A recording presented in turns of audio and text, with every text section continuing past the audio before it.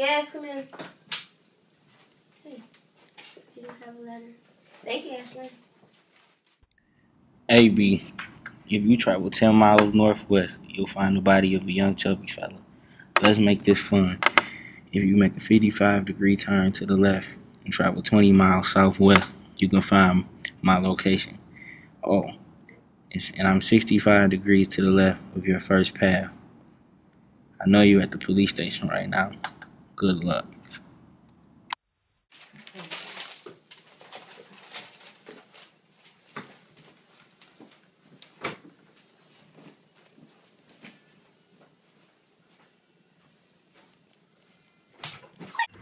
Okay, I need you to head 20 miles northwest, get there as fast as you can.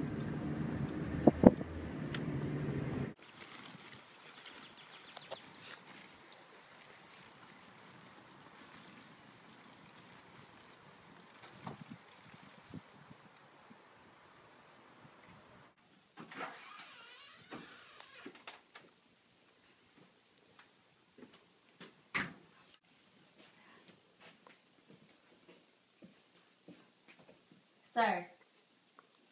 Sir. Sir.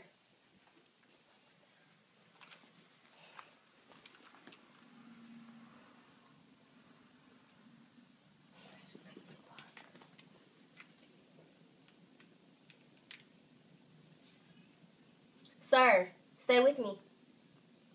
Hi, this is Detective Coats. I'm calling to report a homicide. I need you to send dispatch immediately. Thank you. Come on, sir.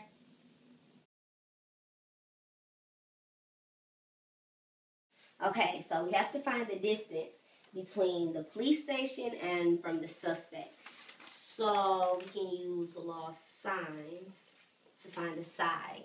So if we try a triangle here, A, this is the station. Okay, we have B and C. This can be the location, the murder, and then the killer. Okay, so he told us the distance about where he was. So this was approximately 55 degrees north. This is 65 degrees and 60 degrees. Okay, that's what it states in the letter. So you add all of these up.